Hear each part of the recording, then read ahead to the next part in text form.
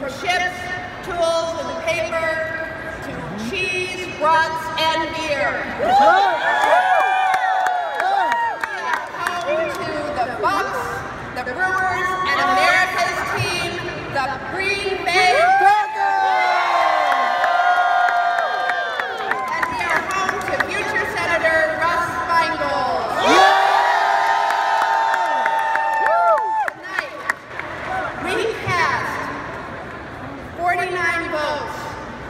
Senator Bernie Sanders. We